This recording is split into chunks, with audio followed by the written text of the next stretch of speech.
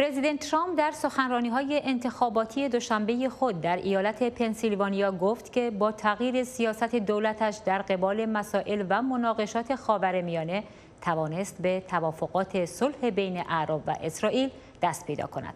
گزارشی از فرهاد پولادی پرزیدنت ترامپ در یک سخنرانی انتخاباتی در ایالت پنسیلوانیا بار دیگر با اشاره به ایران و موفقیتش در دستیابی به توافقهای صلح بین اسرائیل و چند کشور عرب تاکید کرد که کشورهای دیگری در این مسیر قرار دارند.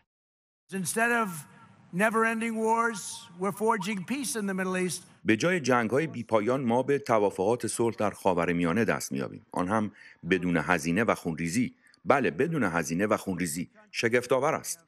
شما سه کشور را دیدید و حالا هم کشورهای دیگری برای حصول توافق صلح در صف هستند. همه می‌گفتند که به روش من نمی شود به صلح دست یافت. من روش های پیشین را که کارایی نداشت تغییر دادم. بله من عکس آنها عمل کردم. رئیس جمهوری آمریکا همچنین گفت که ایرانی ها برای رهایی از وضعیت بد اقتصادیشان بعد از پیروزیش در انتخابات فوری با او تماس خواهند گرفت. دولت پیشین به آنها 150 میلیارد دلار داد، یک میلیارد و 800 میلیون دلار هم پول نقد داد.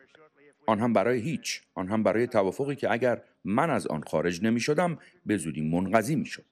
زمان زود میگذرد برای یک توافق کوتاه مدت به آنها 150 میلیارد دلار پول دادند اولین تماسی که من پس از پیروزی دریافت می کنم از رهبر ایران است که می‌گوید توافق کنیم اقتصادشان در حال سقوط است.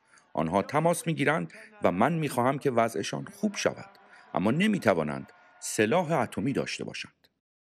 پرزیدنت ترامپ برای متقاعد کردن جمهوری اسلامی ایران برای دستیابی به توافق جامع با دولتش در چارچوب کمپین فشار حداکثری شدیدترین تحریم های اقتصادی را اعمال کرده است.